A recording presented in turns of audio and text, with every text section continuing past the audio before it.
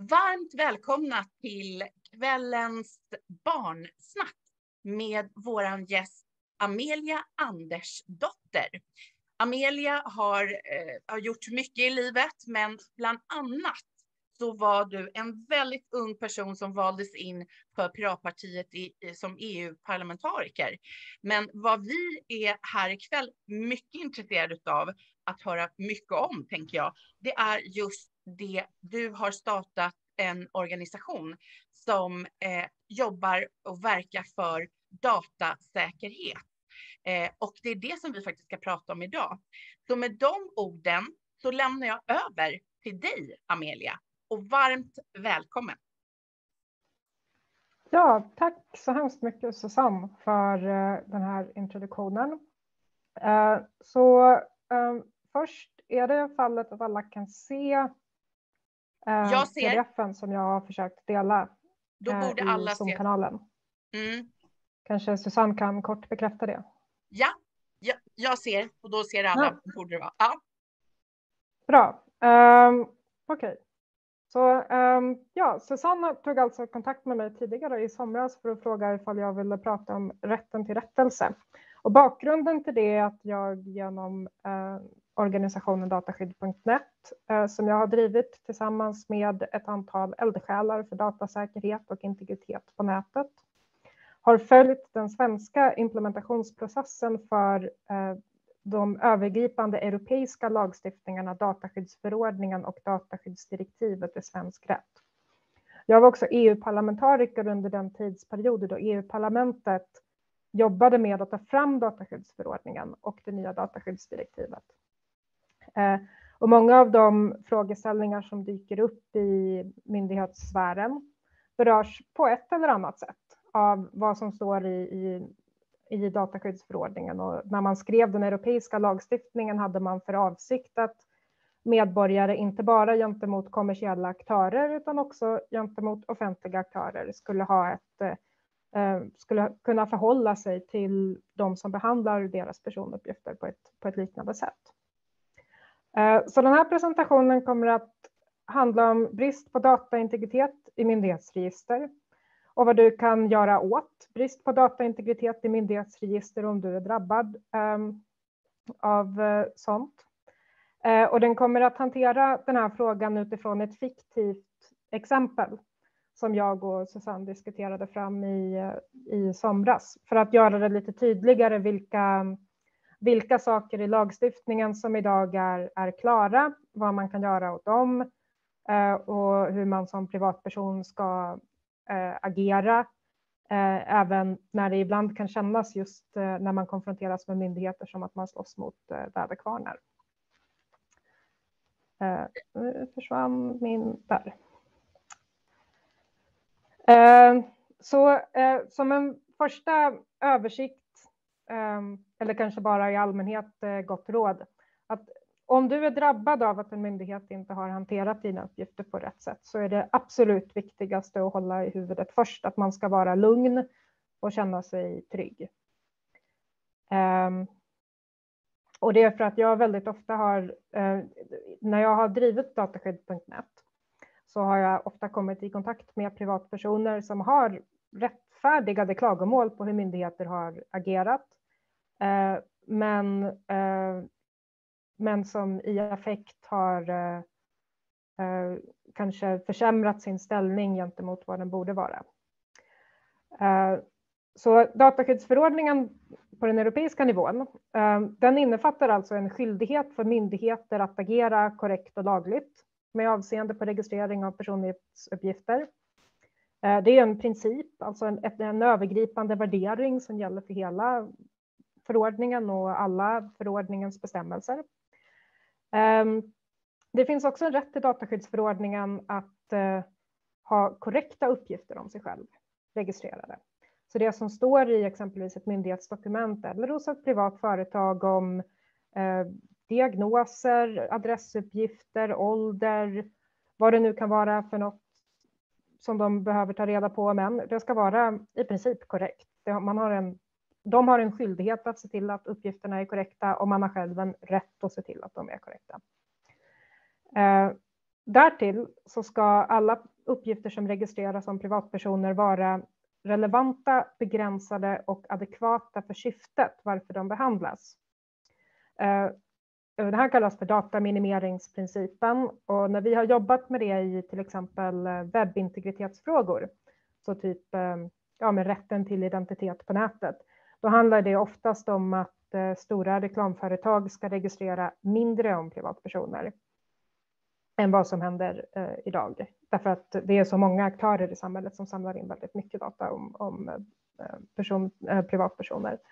Men man kan också tänka sig att det handlar om att uppgifter ska vara korrekta, relevanta i avseendet att ett myndighetsärende exempelvis ska kunna hanteras på ett förtroligt och eh, korrekt sätt. Ehm, när det gäller just kontakter med myndigheter eh, så finns det eh, ett antal mänskliga faktorer som jag menar kan stå i vägen för privatpersoners utnyttjande av de här ehm, rättigheterna, eller utövande av de här rättigheterna. Och det är det jag kommer att ägna resten av presentationen om att prata om. Eh, får jag flika in Amelia, när tycker du om det är så att det dyker upp frågor, när passar det dig att eh, vi tar dem? Allt eftersom eller i slutet?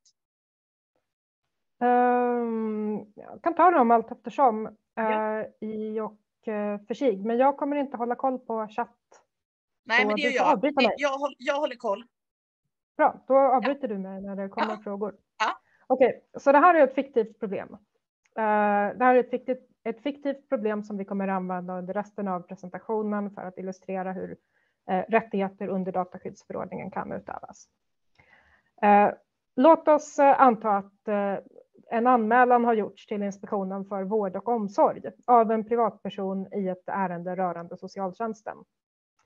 Socialtjänsten har då beretts möjlighet att svara IVO och bemöta privatpersonens påståenden. I svaret från socialtjänsten finns direkta felaktigheter om privatpersonens tidigare kontakter med socialtjänsten. Privatpersonen kontaktar då IVO när de tar del av eh, socialtjänstens svar eh, och kan visa att uppgifterna är felaktiga och begär att de ska rättas. Men IVO vägrar att rätta till de felaktiga uppgifterna. Det känns väldigt frustrerande om man är en privatperson i den sitsen. Eh, så vad är det egentligen som har hänt?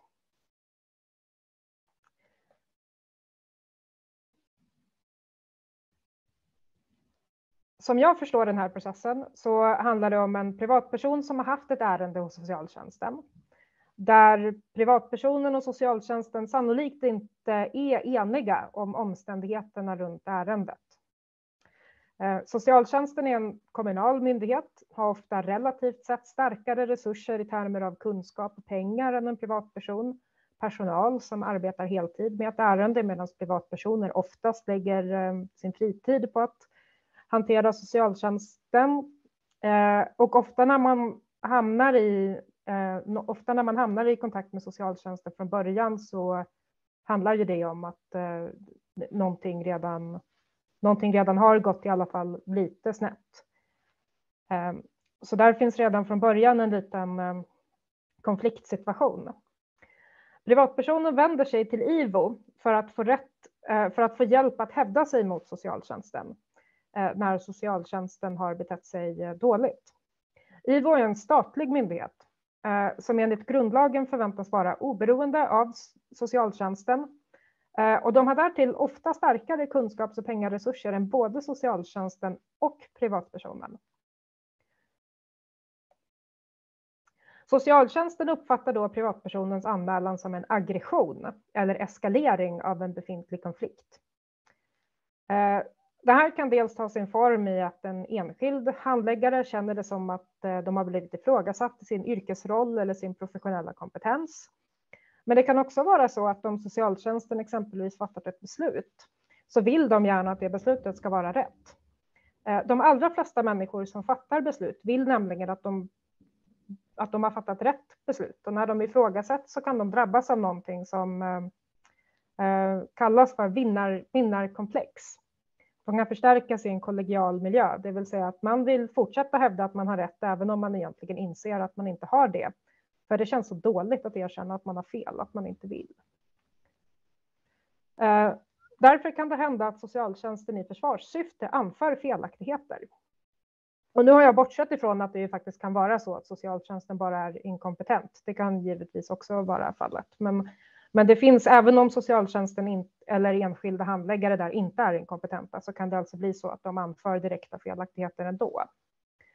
Eh, och här finns det nu ett eh, problem eh, gentemot privatpersoner eh, som, gör, som gäller att eh, personer som jobbar inom myndighetssfären, oavsett om de är på kommunala myndigheter eller på statliga myndigheter, de har ofta liknande utbildningsbakgrund och liknande dagligspråk. Så att man pratar och uttrycker sig och skriver på samma sätt och kanske tänker lite likadant också, just för att man har liknande social bakgrund och man har gått igenom liknande faser i livet. Um, och det här gör att det finns en inte, inte obefintlig sannolikhet faktiskt att eh, socialtjänsten kommer undan med direkta felaktigheter bara för att de uttrycker felaktigheterna på, på rätt sätt. Um, för det är inte säkert att IVO har um, Eh, har förmåga att eh, se igenom sånt.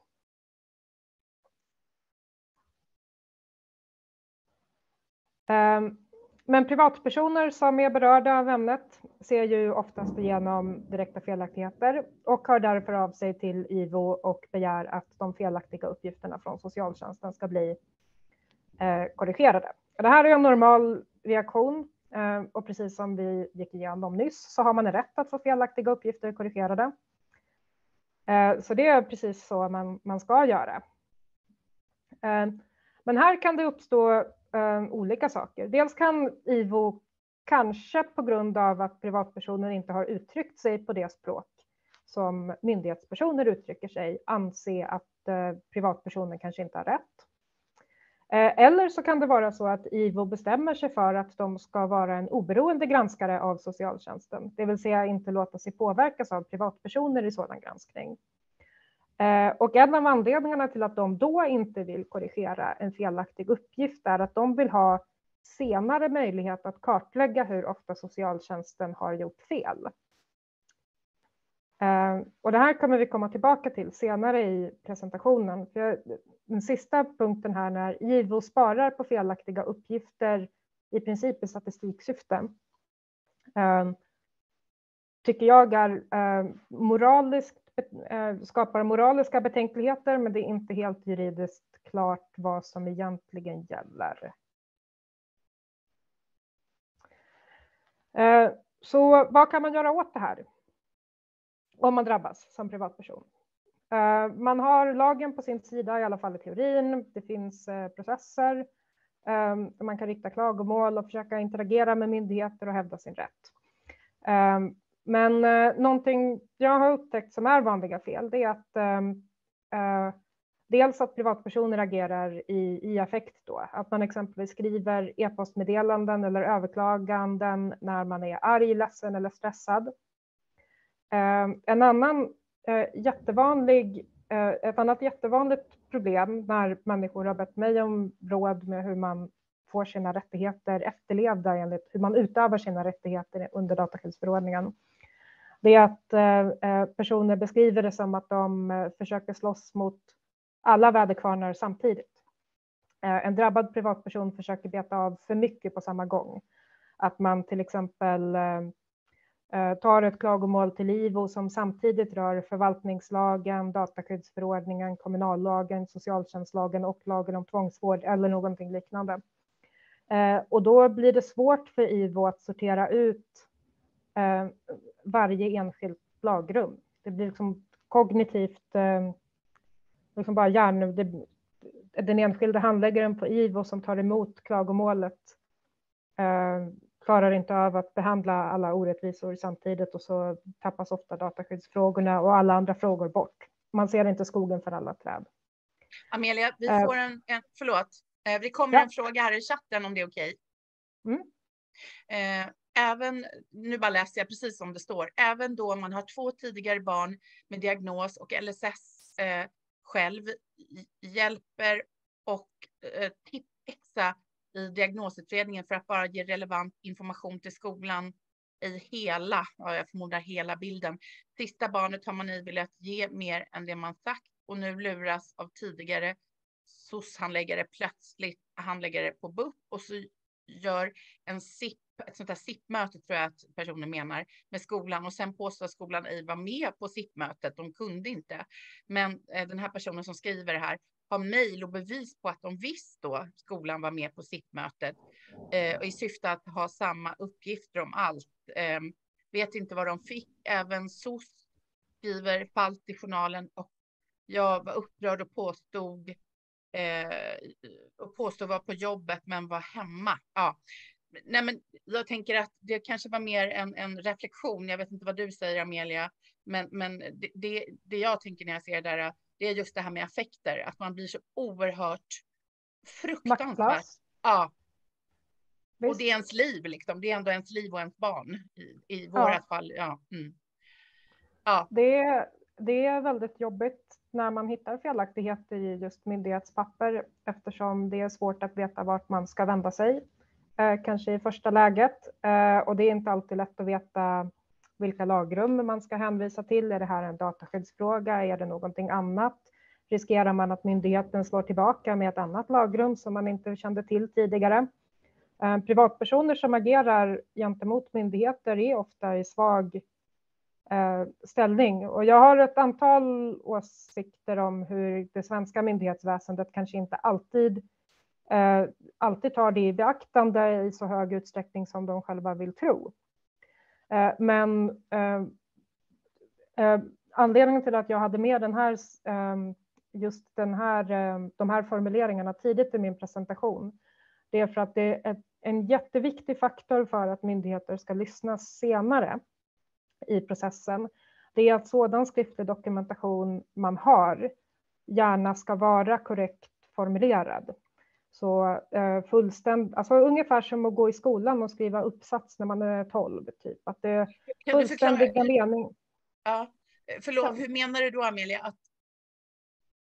Ja, alltså fullständiga meningar när man skriver ett e-postmeddelande till en myndighet.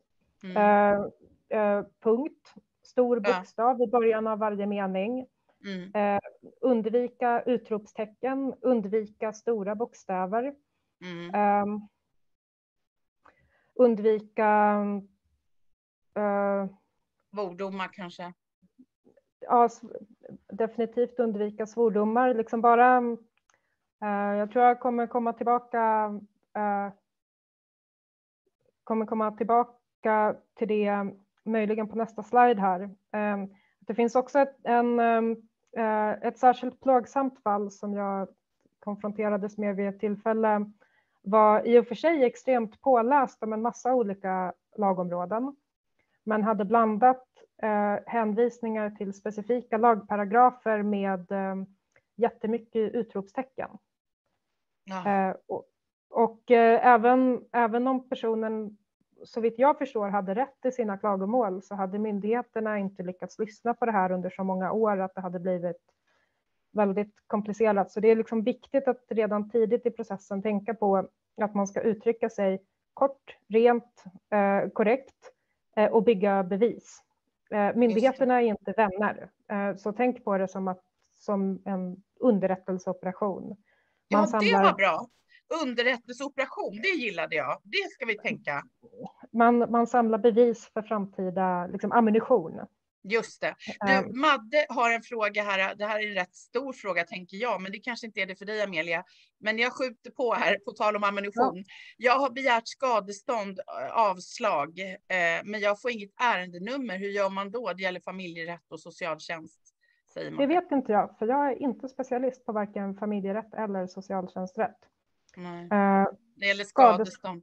Hon får inget ärendenummer säger hon. Skriver hon. Nej, jag uh, kan inte uttala mig om det. Uh, jag har otillräcklig information mm. tror jag, utifrån den frågan. Mm. Skadeståndsrätt i Sverige och särskilt när man begär skadestånd av myndigheter är jättekomplicerat. För myndigheter förväntas inte behöva betala skadestånd och det är en annan sån här knepig grej som bara det jag håller inte med om det, men det är så det är. Um, jag håller okay. inte heller med Amelia, men det är knepigt. Ja, eh, ja men vi får se. Ja, men, så, ja. Frågan är då, vad ska man göra istället? Uh, så mm. vi vet vad man inte ska göra, men vad är det man ska göra? Mm. Uh, både för sin egen skull och för myndighetens skull bör man dela upp sina klagomål i diskreta parter och hantera dem separat. Så har man exempelvis ett problem med LSS så ska det hanteras separat från problem med dataskyddsförordningen. Eh, vill man att uppgifter ska vara korrekt eh, registrerade så är det ett dataskyddsproblem. Men det är då bara, liksom, det är bara korrektheten i ehm, uppgifterna som är ett dataskyddsproblem. Eh, effekten av att uppgifterna är felaktiga, till exempel att man fick ett till möte fastän man inte ville ha det. Det är inte ett dataskyddsproblem, så det behöver man lägga i ett separat klagomål som riktas någon annanstans. Och det här är dels för att ge sig själv lite lugn och struktur. Man kan göra listor med vad är det jag är irriterad på? Vad tror jag att det faller under för kategori av liksom, problem och vem ska jag vända mig till med det? Och det är också för myndigheternas skull, för de eh, kommer liksom inte ja, det, de riktiga klagomålen försvinner liksom i allt brus. Eh, jag är dataskyddsintresserad så jag tycker att det är bra att börja med att se till att registrerade uppgifter i alla fall är korrekta. Mm. Eh, det vill säga att det, finns ett, eh, att det finns en beskrivning av händelser och om uppgifter som man själv anser är korrekt. Och då är det en dataskyddsfråga för det handlar om personuppgifter. Ska man kontakta en myndighet så kan det vara bra att skriva ett utkast på kvällen eh, innan och läsa det igen dagen därpå innan man skickar. Och det är bara för att ge sig själv lite tid och lugna ner sig. Eh, man kan också påtala för myndigheten man kontaktar att kännedomen om de felaktiga uppgifterna skapar onödig stress och oro. Eh, och man ska alltid vara tydlig med att man vill att det egna ärendet ska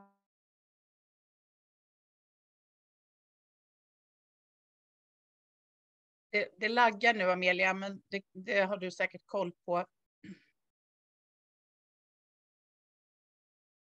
Eller är det jag som... Jo, nej, jag ser att ni andra är live and kicking. Amelia, det är nog bara du som jag tror... Eh, eh, kanske det är så att du får logga ut och logga in igen. Trist nog när du har så bra här med din presentation, men den går ju att få upp igen. Vi ska se här. Eh, passa på, säger jag till er som är närvarande och ställ frågor till Amelia. Eh, för att eh, om det är någon som kan det här just med dataskydd och ni vet GDPR och eh, det som vi hittills har fått höra så är det Amelia Andersdotter som vi har som gäst här idag i Barnsnack. Eh, Amelia har ju som sagt var varit EU-parlamentariker för Piratpartiet och var jag tror att hon var den yngsta någonsin som kom in, i alla fall från Sverige, eh, och har jobbat med det här jättemånga år. Och sen har hon ju startat också dataskydd.net. Eh, den hemsidan, det står om den i ehm, eh, evenemanget, så ni går jättegärna in och besök den och eh, bli medlemmar i föreningen. Eh, jag ska se här vad som händer med Amelia. Nu är jag så här. Eh, eh, jag tänker att jag slänger, slänger, slänger ut det om det går. Nej, men nu kanske. Nu ska vi se. Um, nej.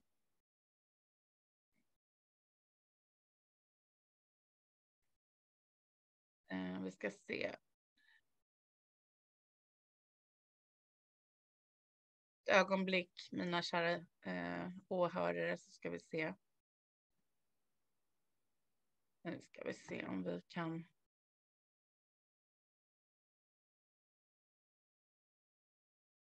Nu ska vi se om... Så som sagt var, skriv gärna era frågor. Jag ser här att ehm, eh, Madde, du skrev att jag kan ju inte överklaga då.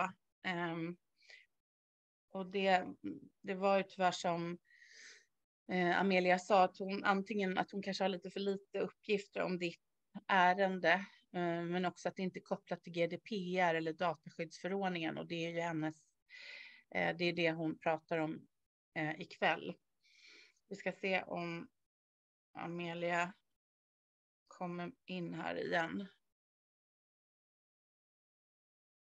men det är ju väldigt, väldigt talande, precis det som eh, Amelia tar upp här, att när man upptäcker att det är felaktigheter eh, i myndigheternas handlingar och utredningar och så vidare, då, då, då får man ju spunk, höll jag på att säga. Då blir det lätt så, tänker jag, att, att man ehm, eh, verkligen skriver kanske någonting i affekt, att man eh, använder som hon faktiskt sa, som jag tror inte är helt ovanligt, att man, eh, man skriver med versaler, med stora bokstäver, massa utropstecken och man mejlbombar socialtjänsten eh, till exempel, eller IVO. Eh, och, och, det är klart att det, det blir eh, knepigt eh, i förlängningen, eh, precis som hon skrev här. Nu ska vi se om... Ofta är det ju så att det är ju människor som kanske inte är välutbildade eller, eller har en, ja, ett, ett sakligt sätt att föra sig på som hamnar i de här situationerna också. Jo, det nu jag håller med. Och det var ju det som faktiskt Amelia var inne på här, att, att som, som privatperson, man står sig ju slätt alltså. Det är ju, eh, man har ingen chans att och, eh, och, och, alltså slåss, om man nu ska använda det uttrycket, för sina rättigheter mot eh, de här eh, myndigheterna och till och med staten. Eh, om det då är som till exempel IVO då. då. Ehm, så det, nej, jag håller verkligen med. Det, det, det är jätteknepigt. Ehm, anledningen till att jag verkar lite bortkollad är för att jag um, försöker få tag på Amelia och se om hon kommer tillbaka här. Hon sa nämligen till mig innan att hon befinner sig på ett ställe där hon bara har tillgång till wifi. Eh, eller wifi kanske det heter. Eh, och att det var, jag vet inte om det var så att eh, det kanske var det som gick ner. Man, det, det var väl lämpligt nu när det var just hon då. Eh, men men eh, jag tänker att jag skriver här till henne. Är det någon som, eh, nu ska vi se, någon, ja precis, jag säger Sanna, du har skrivit, är egen uppfattning från socialsekreteraren en korrekt uppgift om en individ? Det är en jättebra fråga. Eh, vi ska se här. Um, ehm. Häng kvar bara gott folk så kommer garanterat Amelia tillbaka. Kan man få hjälp av henne? Är det någon som skriver här? Ja. Eh, det tror jag säkert att man kan. I, I viss mån i alla fall, om det gäller dataskydd tänker jag. Eh, det är ju, ehm, jag tycker definitivt också att man, eh, det är ju valfritt, men man kan ju gå med och starta deras förening. Jag tänker att det här är jätteviktigt ehm, med ehm, just hur myndigheterna faktiskt, ja precis Madde, eller hur, tumme upp för det. Eh, nej men att man eh, får eh, sina uppgifter, det ska vara korrekta uppgifter om en själv. Och det där skulle man ju verkligen vilja ha svar på, det som du säger Sanna, nämligen eh, om socialsekreterarens egna uppfattning eh, ska anses vara en korrekt uppgift om en individ. Och det kan man ju verkligen jag menar, det bygger ju ändå en bild av individen. Ja. Lämnar man in sen till domstolen som ska ja. besluta på de här materialen. Precis. Och det jo, känns jag... nästan som förtal. Ja, men exakt. Jo, precis. Och det, det, jag tror att hela vårt system är, i Sverige uppbyggt så här att vi, vi har en stark tilltro till staten, till myndigheter. De kan inte göra fel. Och det här som eh, Am Amelia nämnde här i början, eh, nämligen att eh, det här winners bias kallar hon det för. Att man vill, liksom, man vill inte ha fel. Och har man, eh, har man väl liksom, har gått vidare till IVO att säga då eh, ja okej, vi har gjort fel här, vi skulle inte ha gjort då. Det, det är liksom inte det första som eh, eh det är inte det första som man vill liksom. Nej, men med eh, tanke på vad ändå IVOs rapporter säger så borde det ändå vara lätt för dem idag kan man tycka att erkänna sina misstag och rätta till dem. Precis, det var som någon, det var som någon sa eh, när det gäller just när IVO ser sådana här extrema brister. Ehm, eh, som det kan ju vara då till exempel att de har gjort en tillsyn. Nu tar vi ett väldigt välkänt fall. Det är ju Lilla hjärtat och Norrköping eh, där man eh, fick svidande kritik på så många olika punkter. Eh, och man fick också ett eh, för, föreläggande om vite på en miljon.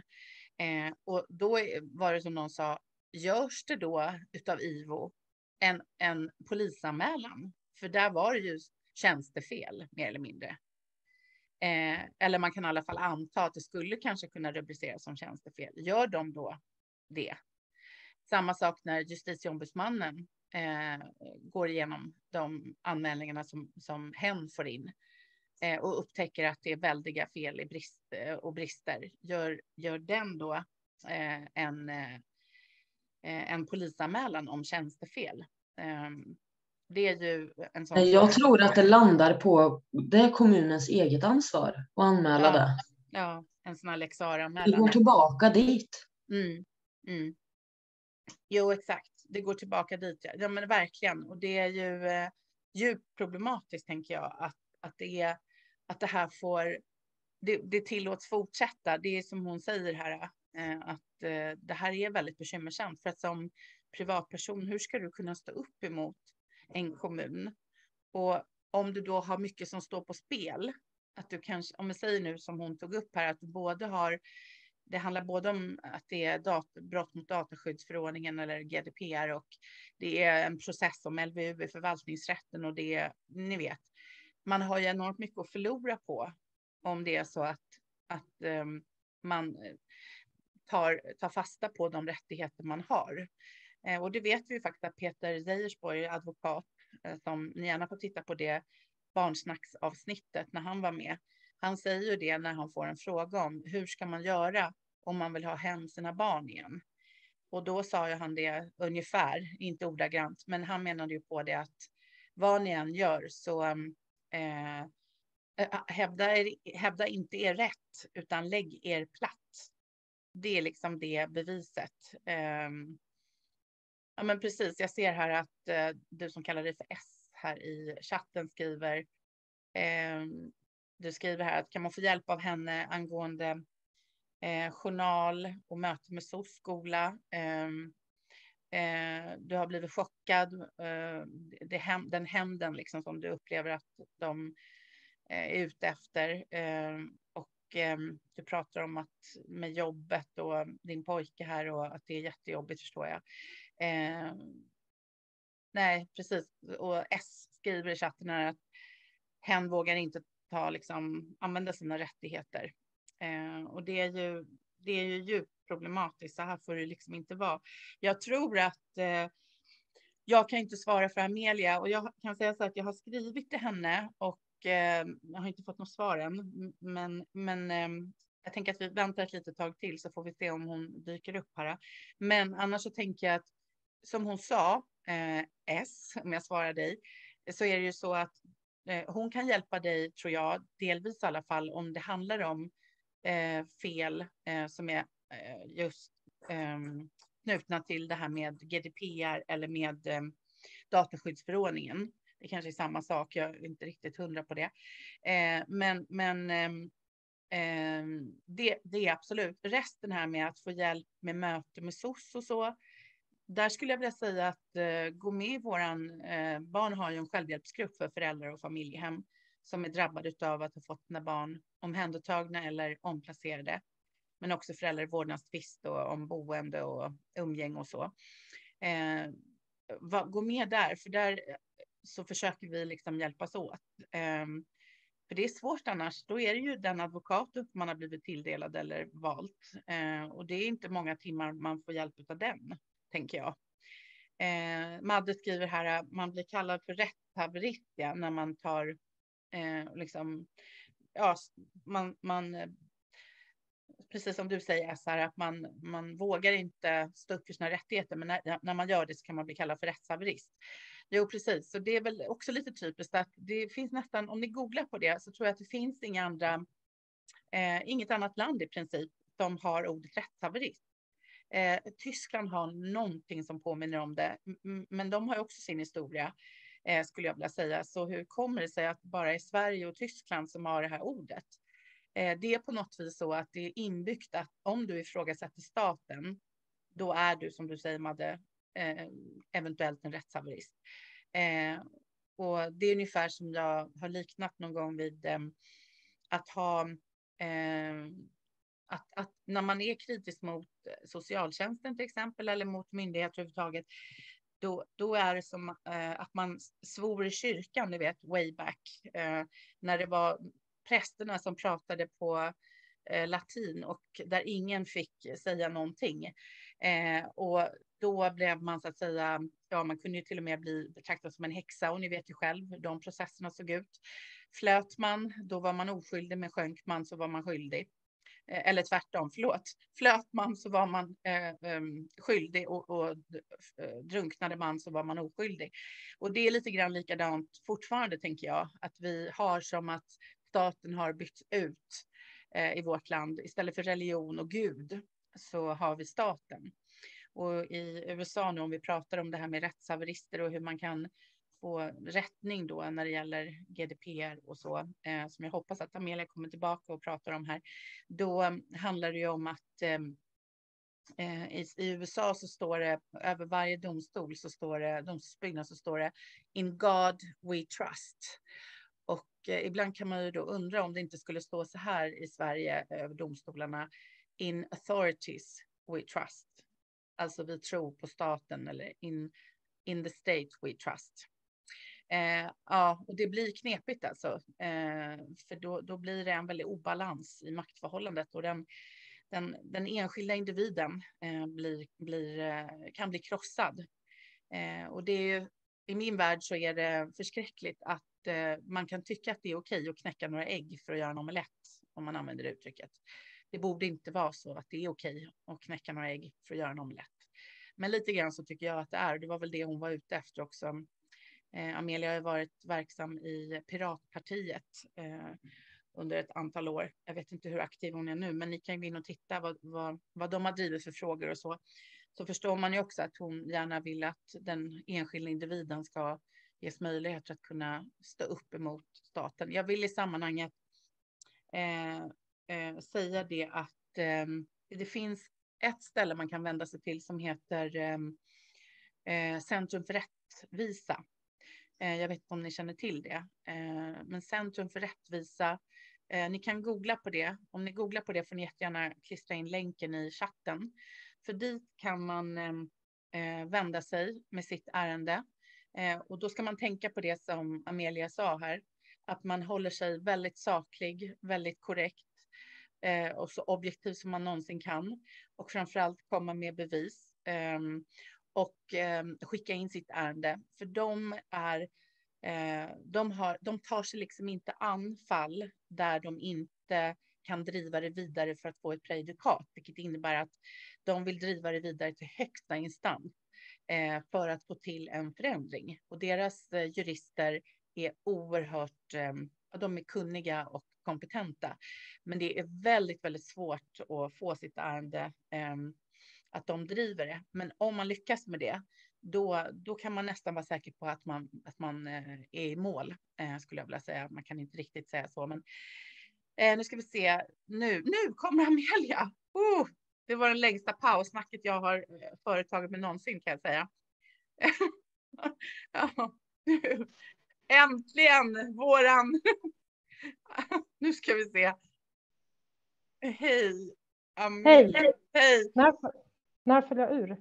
Eh, ungefär för en kvart sedan kanske. Oj. Ja, men, men jag, jag har eh, paussnackat. Eh, det var ett långt paus. men vi, vi, eh, vi var ju där som du sa med eh, du, du pratade om det sista i princip var ju det här med mycket utropstecken. Du hade det här fallet som du hade varit engagerad i där det hade varit mycket utropstecken och en väldig massa text och den personen som hade kanske kunnat få rätt i det här, uppfattar jag det som, fick inte det på grund av att det var ja, hur man skrev helt enkelt påverkade. Mm. Vänta. Eh, uh, jag... jag ska göra dig till co-host. Vi ska se här. Eh, vänta, det har jag inte gjort heller. Nu ska vi se. Så. Sorry. Um... Okej, okay, vänta. Jag ska testa då och se ifall uh, jag har förstått rätt vart jag var. var... Ja, men jag, jag, vi har koll. Vi har koll. Du var på den eh, tredje sliden tror jag. nu ska vi se. Eh, vad kan man göra åt det? Kan du gå tillbaka en?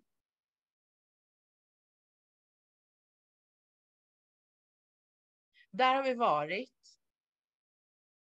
Nästa. Det kanske blev var där. Det Han var där. här? Mm. Okej, okay. bra. Vi kör.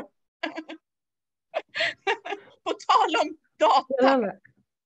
Gällande. Ja, det är Um, inga problem. Jag har uh, löst, ja, det här borde inte hända igen. Um, jag har löst det nu. Okej, Jag har inget mer att säga efter det här Amelia, så du får inte försätta mig i den situationen. du, Jag skojar får- bara. Du får sjunga en vacker sång. Jag får sjunga. Nej, men vi kör. Det går bra. Ja, Okej, nej men uh, okej, så um, vad ska man göra istället då? Om det inte funkar med utropstecken och hänvisa till lagparagrafer och vad det nu är. Vad gör man istället? Eh, Det första man ska tänka på är att man alltid ska dela upp ärenden. Så saker som är dataskyddsrelaterade måste hanteras separat från saker som är LSS-hanterade, eh, relaterade, skadeståndshanterade, eh, relaterade, om det är liksom förvaltningsrätt eller vad det nu kan vara. Därför att det är för sin egen skull eh, såklart, att det är lättare för en själv att äta en elefant i många små bitar. Men det är också för myndigheternas skull, därför att en enskild myndighetsperson eh, missar skogen för alla träd Mm. om man inte hanterar det på det sättet. Så det, så det är bara, bara bra för en själv och för myndigheten att man delar upp det. Eh, och jag är dataskyddsexpert, Eh, så jag tycker att eh, man ska börja med att se till att registrerade uppgifter är korrekta. Ehm, eh, och det kan ju också kanske vara bra att ha någon sorts korrekt beskrivning av verkligheten som man känner sig trygg och stabil i för att veta vart man ska gå vidare med ett ärende. Och då blir det en dataskyddsfråga därför att det är dataskyddslagstiftningen som hanterar korrekthet i uppgifter om personer. Du, då har. Sanna, då har, förstår du Amelia, Sanna har en sån otroligt bra fråga. Har du lust Sanna att ställa den? För den är kopplad till lite grann det här nu som du sa den sista meningen. Vill du Sanna eller ska Ja. jag säga? Mm, jag kör. Mm. Ja, eh, när socialsekreteraren då beskriver eh, under ett möte med klienten sen sin egen uppfattning, är det en korrekt uppgift? Jag tänker med tanke på att den skapar en bild sen för domstolen ändå om vem individen är. Om den inte är saklig. Vi har ju sett såna här saker som att, att människor eh, använder inte mensskydd till exempel. Alltså du vet de helt, helt befängda saker om en person. Eh, sånt har jag sett. Eller att man... Eh, Man kan ge diagnoser till exempel, påtala att man misstänker eller man ser tecken på att en individ har en viss typ av diagnos eller ja. Eller har, eller har ett väldigt dekoltage har jag också fått höra om. Då ska vi se. Så det här finns. Det finns en statlig utredning som handlade om kriminalisering av ehm, av ehm, förtal. Ehm, vad var det? Vad hette, vad hette, heter någonting särskilt när man eh, när man gör integritetsintrång i förtalssyfte? Att man, till, att man till exempel då falskligen skulle sprida information om att någon har en viss diagnos. Mm. Eh, och under dataskyddslagstiftningen då kan man inte i allmänhet alls prata om människors diagnoser. Eh, men om man är en socialtjänstsekreterare har man ju professionell möjlighet att göra det. Men frågan är då, kan man visa att man inte har den diagnosen exempelvis? Eller det kanske inte har utretts ifall man har den diagnosen.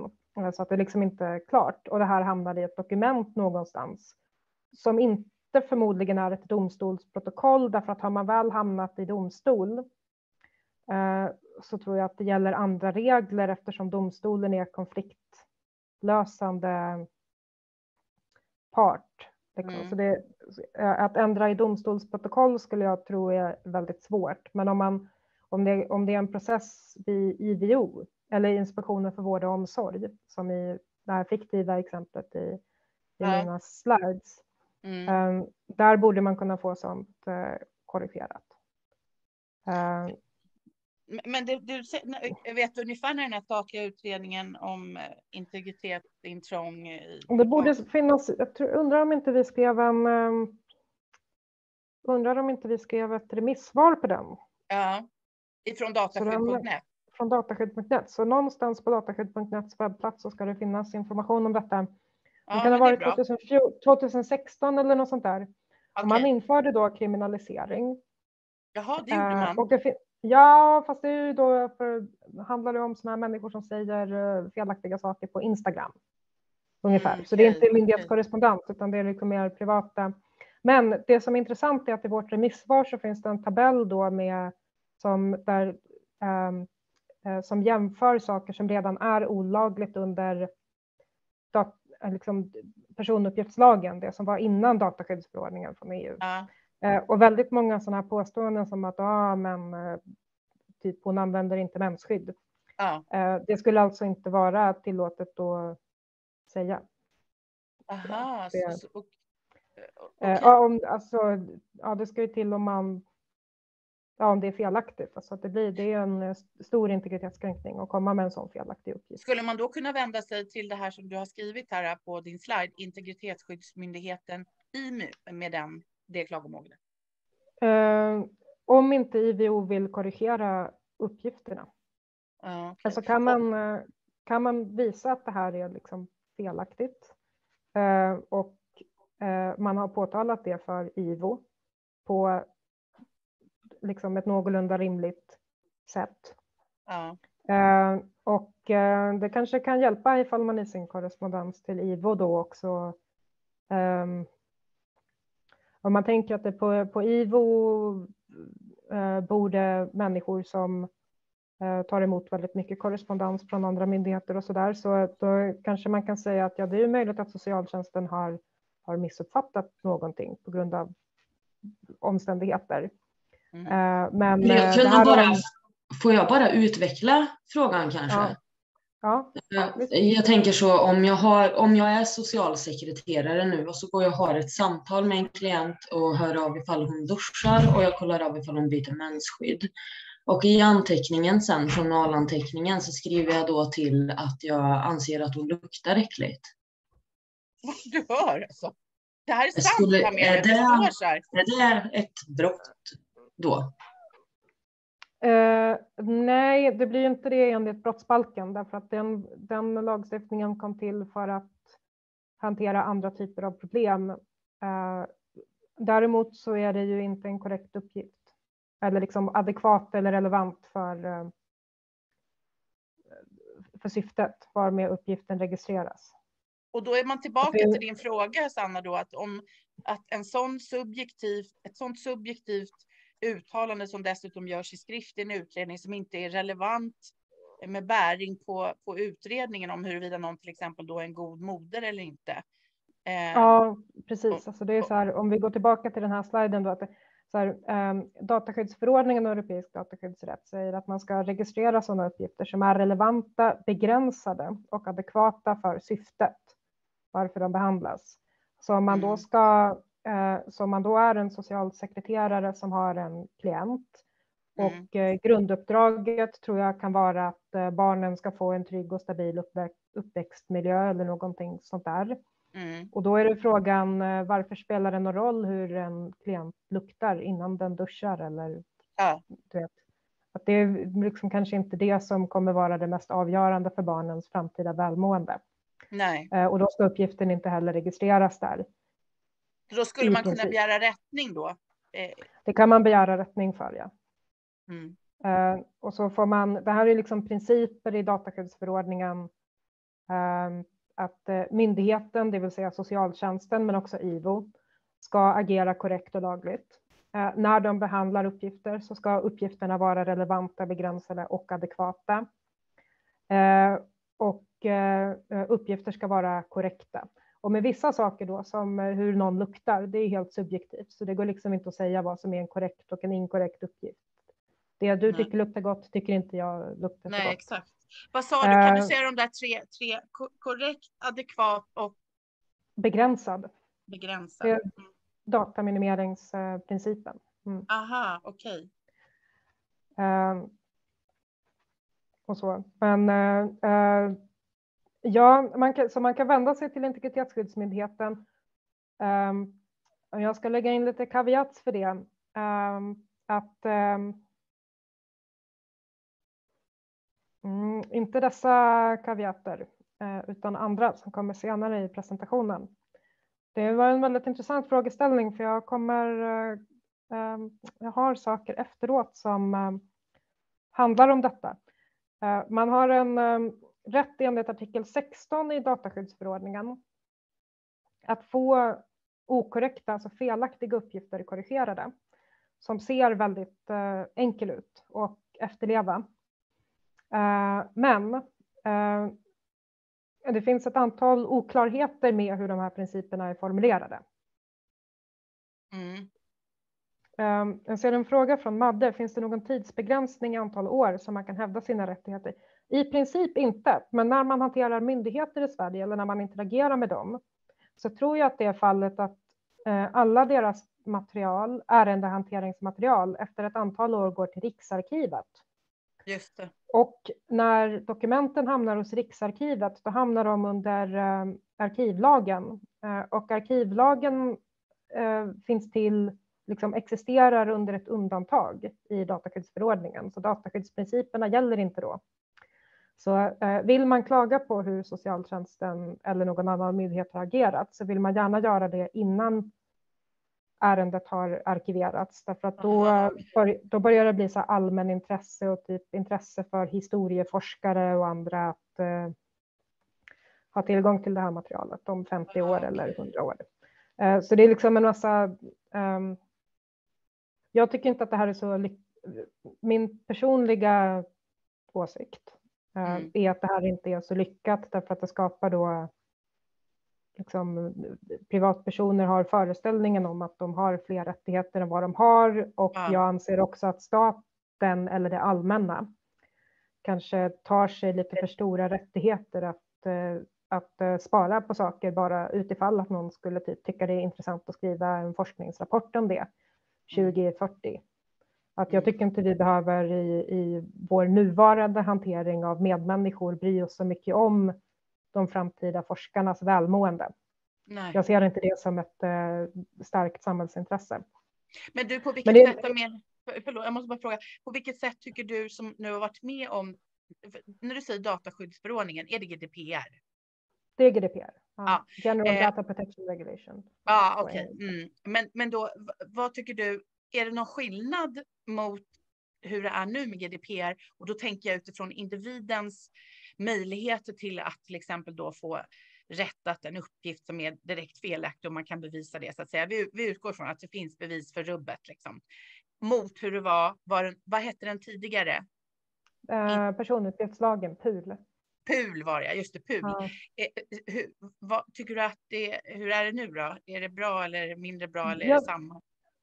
Vi vet inte Nej. riktigt än. Det saknas mm. rättspraxis. Uh, så uh, ja, jag tror det. Och det är mm. så här, jo, så det är de här principerna i dataskyddsförordningen. Så uh, förhoppningsvis så ser ni här nu att det i principavsnittet i, i dataskyddsförordningen mm. så är då artikel 5.1a, där står det mm. att en personuppgiftsansvarig, alltså någon som samlar in uppgifter, de ska bete sig korrekt och lagligt. Eh, ja, det, blir problem direkt, det blir problem direkt, Amelia. Va? Ja, nu var jag lite raljerande här. Ja. Ja. Uh, ja, men precis. Därför att på engelska så står det då istället att uh, där motsvaras ordet korrekt av ordet fairly, som jag skulle översätta snarare till rättvist. Mm. Uh, eller kanske reko om jag vore lite mer ja. informell. Och på franska så motsvaras ordet korrekt på svenska av det franska ordet loyauté. Ja, som jag skulle helt... översätta till lojalitet. Ja, just det. Lojalt, liksom. Eh, och på tyska så finns det då ett uttryck som heter treu und glauben som också är förtroligt eller eh, hederligt, liksom hedervärt. Eh, och eh, det som framför allt är skillnaden för mig mellan engelska, franska och tyska GDPR-versionerna gentemot mm. den svenska, det är att jag anser att de andra språkversionerna mycket tydligare betonar eh, det moraliska ansvaret som exempelvis socialtjänsten eller IVO eller IMI har gentemot eh, individen.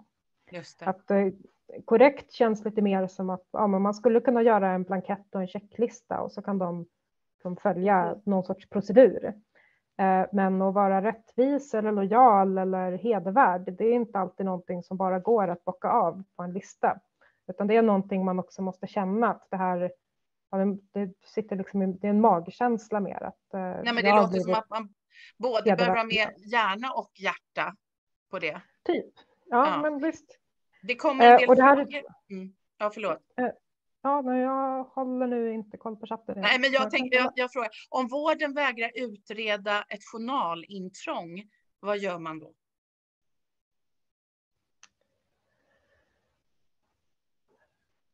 Bra fråga. Jag vågar inte svara utan att eh, kolla upp. Normalt så äger man inte själv sin journal, utan det är som jag har förstått det landstinget som liksom äger ens journal. Mm, okay. eh, och eh, det finns ett antal konsekvenser av det som jag är väldigt irriterad på. Till exempel att ehm, eh, journalintrång då eh, är kriminellt, alltså straffbart. Man kan hamna i fängelse för det. Men den som är brottsoffer är landstinget. Jaha. Eh, och det tycker jag är väldigt kontraintuitivt och eh, underligt. Men eh, lagstiftningen ser ut sådan att eftersom journalen ligger i ett datasystem som tillhör landstinget så begås liksom formellt övergreppet mot ägaren av datorn som är landstinget och inte privatpersonen. Eh, och sen är det en till fråga, går det att översätta till spanska? Ja, dataskyddsförordningen finns på alla europeiska språk. Eh, jag kan kolla upp eh, spanska ganska snabbt, för jag har det här. Eh, Hur många språk pratar du, Amelia? Jag vet att det är många. Typ sex kan jag nog fungera på. Ja, ja kan jag nog oj, fungera oj. på. Fantastiskt. Leal. Uh, här artículo 5. Los datos personales serán tratados de manera lícita, leal y transparente en relación con el, interesado. Kan du spanska? Mm. Så det är då lealtad, alltså samma som på, på um, franska, lojalt. Ja, okej. Okay. Uh, men uh, det går också att hitta på litauiska eller något annat uh, språk, som, mm. vad man nu liksom pratar för språk. Gracias, säger Ester. Eh, Madde skriver, jag fick avslag eh, när vi hänvisade till GDPS när jag inte fått ut min akt från mitt första ombud. Ombud, då vet jag inte riktigt om det är advokat, eh, jurist, eh, om, eh, det är oklart, men så står det i alla fall. Okej, okay, ja, jag ser det också i chatten här. Um, IMI väljer bara att inleda tillsyn i ett väldigt begränsat antal fall. Um, så att man har lämnat in ett klagomål till IMY som de inte hanterar enskilt är inte jätteförvånande. Mm. Det finns, det finns ett, kanske processrättsliga grejer man skulle kunna mickla runt där med, men jag vågar inte. Jag är inte jurist. Mm. Um, uh, och jag är verkligen inte något bra på processrätt. Uh, så jag vågar inte uttala mig om hur man skulle kunna mickla.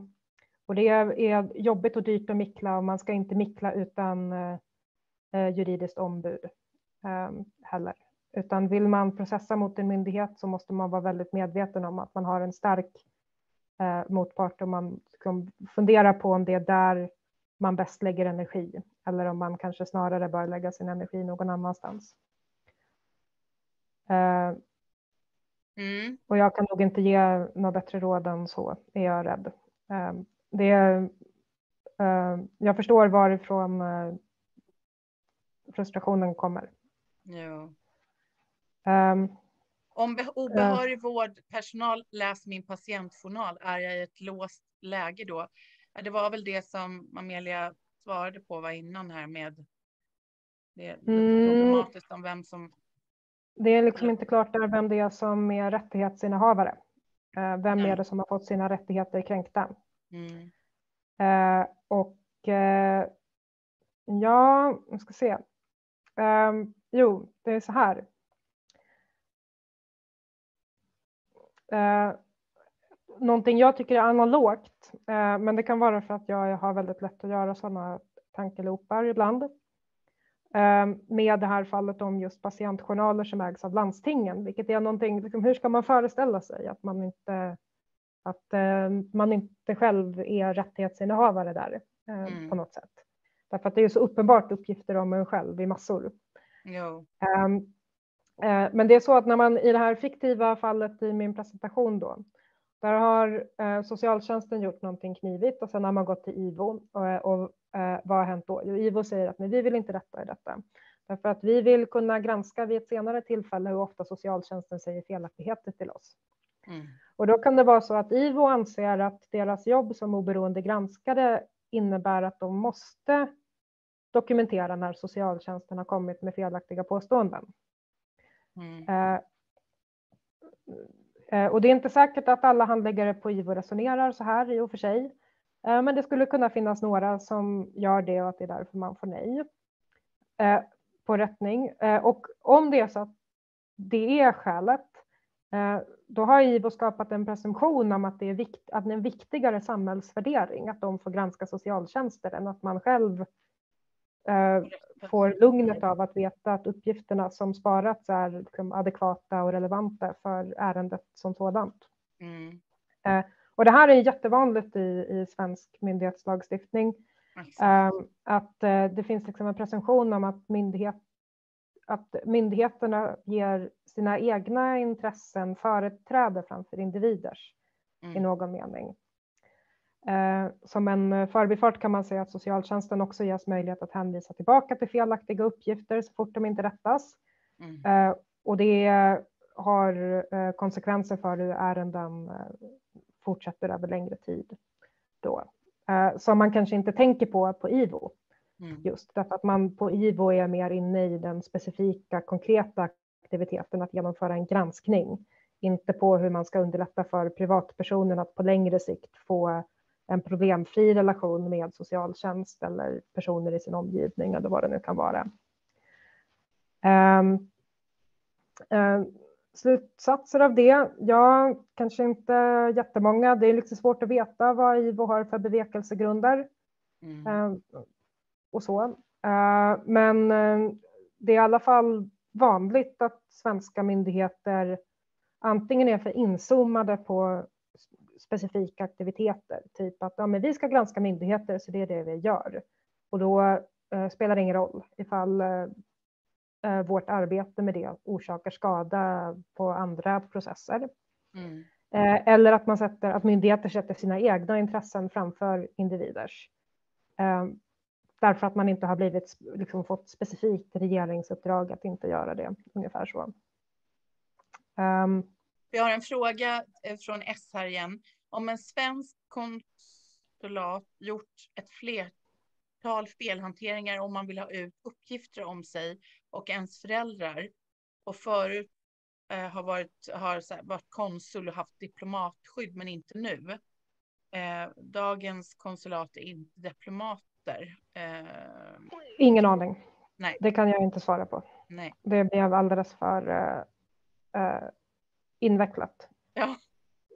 Eh, eller eh, abstrakt. Ehm, eh, men i alla fall så om man tänker på det här då som Tänk att IVO, så vi har gått igenom då att det finns ett moraliskt imperativ i de andra GDPR-versionerna. Så det är bra. Mm. Mm. Det skulle kunna indikera att privatpersoner bör ges företräde framför IVO om IVO tycker att de är viktigare. Men sen finns det då i artikel 16 dataskyddsförordningen precis en sån här skrivelse som med beaktande av ändamålet ja. så kan man ha en rätt att komplettera uppgifter istället för att få dem rättade. Och det är precis en sån grej som IVO skulle kunna hänvisa till för att säga att ja, men vi tycker ju att eh, ändamålet med den här behandlingen är att vi ska kunna granska SOS. Eh, så därför vill inte vi rätta uppgifterna. Eh, och de skulle egentligen kunna säga samma sak om eh, dataminimeringsprincipen i artikel 5.1c. Att eh, ja, vårt uppdrag är ju att granska SOS, inte att hjälpa enskilda. Så vi tycker det är adekvat och relevant för syftet att granska SOS, att spara de här felaktiga uppgifterna. Och det här är ju superirriterande ifall man är en enskild. Mm. Därför att då tappar man ju plötsligt all makt, i alla fall datarättsligt, över processen. Eh, men eh, det utrymmet, det är så, i princip har man i princip har man en rätt till rättelse av felaktiga uppgifter. Men i verkligheten så kan det bli så att myndigheter liksom trasslar sig runt principfrågorna med hjälp av eh, hänvisningar till vaga skrivelser i den europeiska rätten. Och det finns inte riktigt några rätta svar på vad lagstiftningen betyder. Man skulle behöva få det prövat rättsligt, antingen genom Datainspektion, alltså förlåt, eh, Integritetsskyddsmyndigheten, mm. eh, IMY, att de gör eh, riktlinjer, tillsyn eh, eller att det kommer domstolsprövningar eh, och så vidare. Det finns inga genvägar där. Är man drabbad av någonting sånt här eh, så bör man anmäla det till IMY som ett klagomål. Och då är det precis som någon redan har eh, påtalat ovan, eh, kommer IMY ofta säga nej. De kommer liksom inte inleda tillsyn utifrån ett enskilt klagomål. Däremot kan ett stort antal klagomål som rör ungefär samma principfrågor leda till tillsyn. Eh, det är samma ska... med IVO. Det är samma med IVO ju. om, om ja. det kommer in. Ja, jo. Så man ska aldrig känna sig avmuntrad eller liksom inte klaga. Ehm, även om man inte får eh, konkret hjälp i sitt enskilda ärende just nu eh, så leder ett klagomål alltid till att man kommer lite närmare åt eh, rättsligt förtydligande så småningom. Och när det gäller just korrigering av ehm, när det gäller just korrigering av felaktiga uppgifter eh, och hur myndigheter ska göra det i ärendehantering så eh, är det, det är en genuint intressant fråga. Alltså, vem är det som har mest rätt där? Har privatpersonen rätt att få det själsliga lugnet att veta att ett ärende hanteras utifrån faktiskt korrekta beskrivningar eller har myndigheter en eh, rätt att men jag göra tänker, saker. Men jag kom på en sak, Amelia, som du sa, som kanske faktiskt är en öppning. För jag, medan du var eh, borta här lite grann eh, och kopplade upp det igen så pratade jag om eh, Centrum för rättvisa. Mm. Eh, och eh, de tar ju bara upp fall, det, det, är väldigt svårt att få sitt fall prövat där. De, men, men de fall de tar upp, de vinner de ju nästan. Det är liksom nio av tio fall så vinner de, de är ju helt otroliga. Men de, vill ju, de söker ju prejudikat. Och du nämnde här att det finns inget prejudikat eller praxis när det gäller GDPR och då tänker jag att Nej. kanske det finns en öppning där. Att de gillar ju, ja. om man tänker på Centrum för rättvisa då, då kanske man skulle kunna vända sig dit med ett sådant fall, till exempel det vi tog upp eh, eh, tidigare med att diagnosuttalanden eller mensskydd eller, eller eh, djupt dekoltage eller sådant och få det, det kan man absolut göra. Eh, ja. Så eh, att, man behöver alltså inte gå direkt till IMY. Man kan äh, gå till domstol, alltså tingsrätt och, och processa mot myndigheten i, i, allmän domstol eller göra det som äh, småmål. Äh, och det här kan ibland innebära stora ekonomiska risker för privatpersoner, men det finns sätt att, att buffra mot det. Man kan göra någonting som heter ett småmål i tingsrätt och då riskerar man inte att eh, behöva betala myndighetens rättegångskostnader. Jag har försökt driva småmål själv, liksom i eget namn, eh, och eh, misslyckats. Ja, jag ja. förlorade. Och, men jag är ju då inte jurist och jag tror att ska man, ska man arbeta direkt mot domstol utan att ha tillsynsmyndigheten emellan, då är det viktigt att man har bra ombud, alltså typ Centrum för rättvisa. Så man ska mm. inte göra det eh, själv. Nej, nej. Um, eh, och det är eh, för att skydda sig själv mot juridisk risk. Mm. Men också för att få processrätt och liksom hela det här, hur beter man sig i domstol och vad behöver man lämna in i första um, ansökan och så vidare. Att det är som en uh, konst i, i sig och man ökar sina möjligheter enormt att jo. vinna ifall man har uh, uh, riktiga, alltså så här professionella eh, ombud där. Um.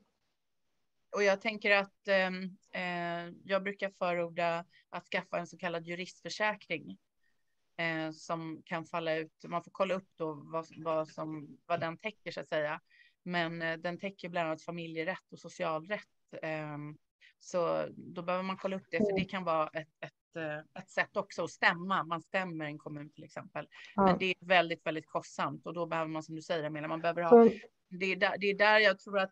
Man kan köra de här sakerna som heter småmål. Då. Ja, det kan man göra. Man, småmål kan man begära skadestånd på maximalt upp till ett halvt prisbasbelopp som är ungefär 24 000 kronor. I praktiken får man aldrig så stora skadestånd i Sverige, utan eh, även eh, när man vinner eh, rättstvister så får man kanske 500 kronor i skadestånd. Och det är väldigt signifikant därför att ansökningsavgiften från början för ett småmål är 900 kronor. Mm. Så det är nästan, det är liksom helt igenom osannolikt att man går i vinst. Ja. Alltså pengamässigt, eller ens break-even på ett uh, småmål. Och sen måste man också tänka på att det tar jättemånga timmar att förbereda vad man ska lämna in till domstolen, vad man ska göra för yrkanden. Även om eh, min upplevelse var att tingsrätten var ganska hjälpsam med vilka yrkanden som var juridiskt möjliga att göra och så där, så är det fortfarande, liksom, det, det kostar pengar och det tar tid. Mm. Eh, och även med små mål där den maximala förlusten man riskerar att gå är typ 6 000 kronor, så är det kanske fortfarande så att det är 6 000 kronor man kan göra någonting roligare med kanske, än att misslyckas stämma sin kommun. Eh, det är också, det, har, man, är, ja. Ja, mm. har man professionell hjälp så får man, eh, har man bättre möjligheter att hantera alla de riskfaktorerna eh, runt omkring. Eh. Samtidigt så är det ju så här, vi har ju ytterligare faktiskt, och nu känns det väldigt eh, desillusionerande här när jag säger det här, men min upplevelse är ju att i Sverige finns det inte särskilt många riktigt kompetenta processande advokater som är vana att stämma staten. De kan vi nog räkna på halva ena handen. Alltså. Det... alltså det är jätteintressant att det finns eh, faktiskt europeisk statistik på detta. Och det Gör det det? Ja, visst. Eh, EU-kommissionen eh, släpper varje år European Justice Scoreboard. Är det sant? Och du har, ja, och du har helt rätt att Sverige har ett exceptionellt litet antal, lågt antal eh, jurister eh, i allmänhet. Ja. Eh, en annan jätterolig eh, fakta från det som eh, kanske inte är så, den är inte heller eh, så peppig och, och har inte så mycket att göra med området, men svenska domare mm. är sämst i Europa, alltså lägger minst timmar i Europa på att fortbilda sig per år. Nej, du måste skämta Amelia. Du måste Nej. säga att du skämtar. Vad hittar Nej. du där någonstans? Vad hette det där sa du? European Justice Scoreboard. Jaha, det måste vi tydligen läsa in oss på. Ja, den är väldigt rolig. Den ja. med EU är som en treasure trove av eh, ja. en skattkista med intressant information. Ja, uh, mm. Okej, okay. mm. jag ska mm. säga det. Uh, det har ju säkert framgått eh, och jag försöker vara väldigt tydlig eh, när jag lägger in mina egna värderingar i det jag säger och när det är någonting som är liksom, baserat i fakta. Att jag har i hela den här presentationen förbehållit mig rätten att anse att myndigheter ska korrigera felaktiga uppgifter och radera tidigare felaktigheter. Eh, nästan majoriteten av dataskydds.nets verksamhet har handlat om dataminimering, alltså hur samlar man in så lite uppgifter om privatpersoner Eh, som möjligt för att uppnå vad det nu är för syfte man, man har med datainsamling. Eh, och jag anser inte att det är ett viktigare samhällsvärde att myndigheter ska kunna granska varandra än att privatpersoner ska ha korrekta uppgifter registrerade om sig själva. Mm. Eh, jag, jag tillmäter inte myndigheter någon sorts moraliskt intresse eller rättigheter eller så, utan um, de har moraliska skyldigheter och privatpersoner har uh, rättigheter. Men det går att vara oenig med, med min tolkning av det. Eh, att eh, jag har den värderingen och det är så jag, jag tycker att lagstiftningen ska tolkas. Men det är absolut inte självskrivet att alla skulle hålla med om det. Jag tror att det är viktigt när man eh, lyssnar eller om man kanske tänker på det jag har sagt senare. Att det jag säger är färgat av och jag låter det vara färgat av mina värderingar. Mm, mm. Och vi är, vi är väldigt glada, eh, ungefär lika när du nu nämner eh, hur det ser ut på eh, kompetensnivån bland domare i Sverige enligt European Justice Scoreboard och eh, så, så kan jag ju säga att eh, det är svårt, alltså vi i föreningen Barn, vi, vi, vi har svårt att hitta människor som eh, vågar ha en, en sådan ståndpunkt som, som du faktiskt har. Eh, det, det, är svårt att hitta. Eh, det, det, är inte helt vanligt, skulle jag vilja säga, i Sverige. Eh, så vi, eller jag, jag får prata för mig, precis som du pratar för dig, så pratar jag för mig och jag bara kan instämma till 100 procent i din ståndpunkt skulle jag vilja säga. Så jag är extremt tacksam för den formuleringen. Det kommer bli min nya eh, bakgrundsbild på Facebook. ja, jag är inte heller akademiker så jag behöver inte försöka ha någon sorts eh, skimmer av neutralitet. Nej, det var skönt. Mig. Det var skönt. Eh, nej, men det, det, ja, nej, men verkligen. Eh, jag tänker så här att det har kommit in en hel del, nu ska vi se här, frågor eh, överklara att IVO lämnar ut offentliga handlingar, inkomna anmälningar som en hel svart sekretessmarkering säger en hel del eller säger en del om dem. Jo. Jo. Vad ska man säga? Ja, fast å andra sidan är kritiken där att det inte är tillräckligt sekretessmarkerat eller att man inte får reda på vad som står. Därför att alla som lämnar in saker det kan ju stå personuppgifter i de anmälningarna. Jo. Um, som då ska sekretessmarkeras i och för sig. Mm. Mm. Uh, men uh, ja. Uh, Sanna mm. Kall, vad gör en åt felaktiga och osakliga domar? Man överklagar. Mm. Mm. Får jag fråga, Amelia, har du möjlighet eller vill du dela Eh, den här eh, slidesen med oss, att vi får lägga upp den i vår Facebookgrupp för allmän beskådan. Det kan jag göra. Det är okej? Okay. Ja, vad Ja, ja. ja, fantastiskt snällt. Ja, för jag tänker att eh, jag skulle vilja läsa igenom igen, lite lugn och ro. Eh, är det några fler frågor eh, till Amelia medan vi har eh, henne här och har möjlighet att ställa de här eh, frågorna som jag känner att det verkar vara väldigt svårt tycker jag att få svar på det som du faktiskt delvis har svarat på ikväll Amelia. Det, det är inte så där jättemånga som jag känner som jobbar med det som du gör. Nu ska vi se, önskar ha kontakt med dig Amelia. Det var någon som skrev för någonting om kan hon hjälpa mig? Och där, där sa jag, jag, jag kan inte hjälpa enskilda. Jag är alltså inte jurist. Jag, är, jag har en utbildning i matematik och jag har bara jobbat med de här frågorna väldigt mycket. Eh, till och från på eh, fritiden. Eh, jag kan inte hjälpa till med familjerätt eller socialrätt eller något sånt där.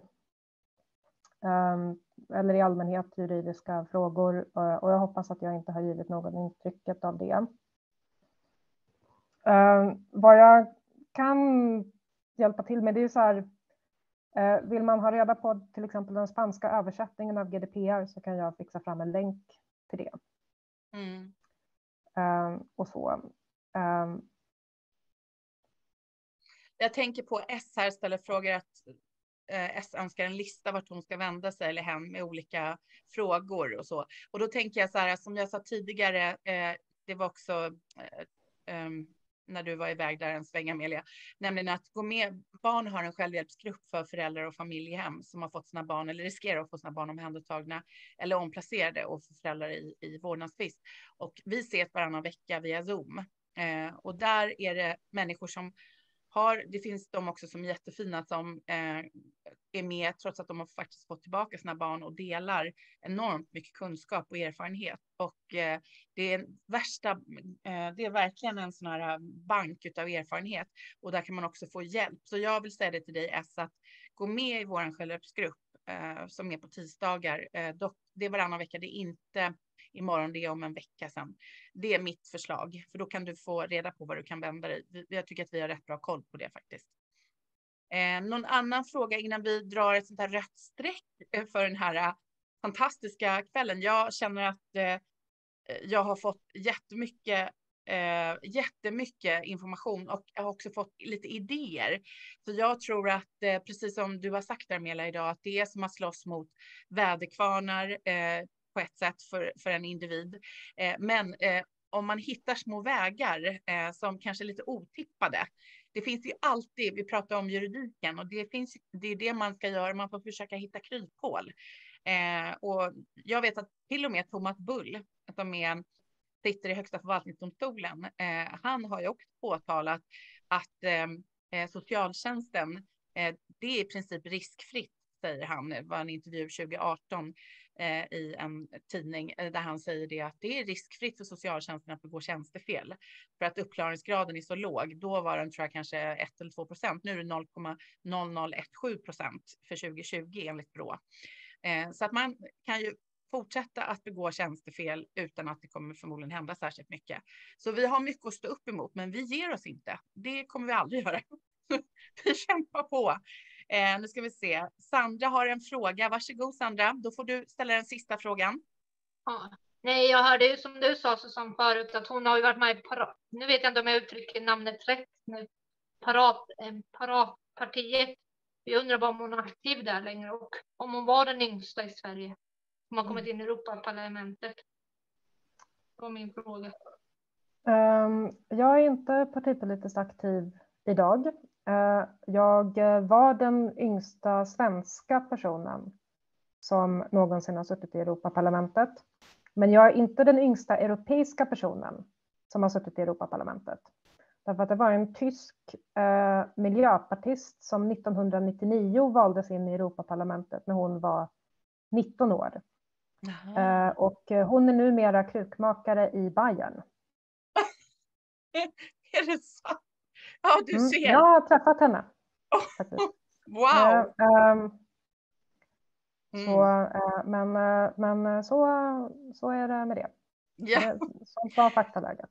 Ja, men tack. Ja, men vilken fantastisk, fin fråga Sandra. Vi var nyfikna på dig Amelia. Nej, men det, det, det har varit eh, otroligt intressant. Eh, vi är alla tacksamma för att du tog dig tid och för att vi lyckades återetablera kontakten med dig. var lite nej, nej, nej, vi måste få höra mer, men det fick vi också.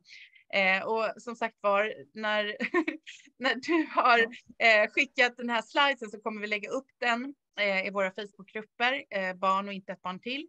Och mm. den här eh, videoinspelningen, eller den här kommer läggas upp på vår Youtube-kanal. Eh, förhoppningsvis under kvällen. Det beror lite på uppkopplingen får jag säga, men, men jag hoppas på det. Och då kommer länken läggas ut också. Så Amelia, du får de sista orden innan vi sätter punkt för ikväll, tänker jag.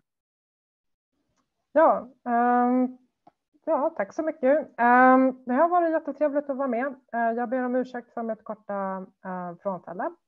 Eller för mitt långa frånfälle till och med. Eh, jag gillar alltid att prata om dataskydd och möjligheterna som dataskydd innebär för individer och tycker att det är viktigt att det tas på ehm, allvar.